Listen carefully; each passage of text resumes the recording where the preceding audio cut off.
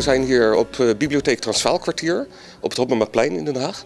Wij hebben hier een leslokaal voor huiswerkondersteuning. Dat betekent dat kinderen met een bibliotheekpasje, dat die hier huiswerk mogen maken.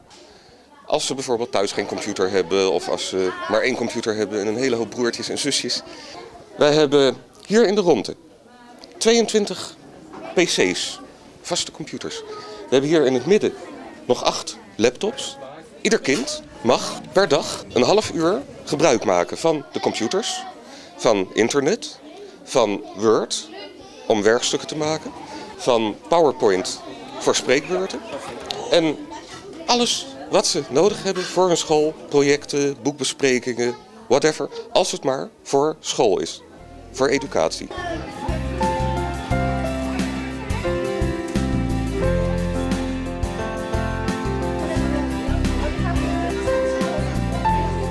Er zijn altijd twee begeleiders bij.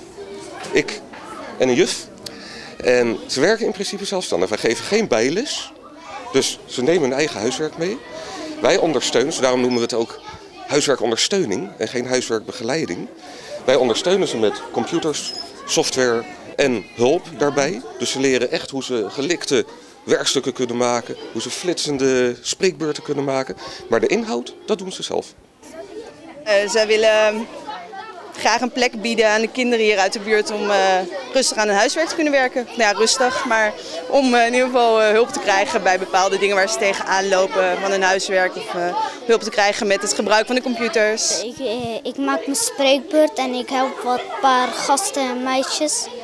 Dat hier lekker gezellig kan zijn. En zo, dat je gewoon lekker gezellig kan praten met iedereen. kan je huiswerk maken en dan kan je weer naar school. krijg je een goed cijfer. Ik heb binnenkort een spreekbeurt en daarvoor wil ik informatie boeken. Hier is het altijd zo leuk. Uh, ja, je krijgt heel veel hulp. Dat uh, vooral. Uh, er is hier veel energie. In principe is iedereen welkom, maar deze bibliotheek is toch echt gericht op de basisschool. Dus de kinderen die hier komen is groep 5, 6, 7, 8 en hooguit de eerste klas van voortgezet onderwijs.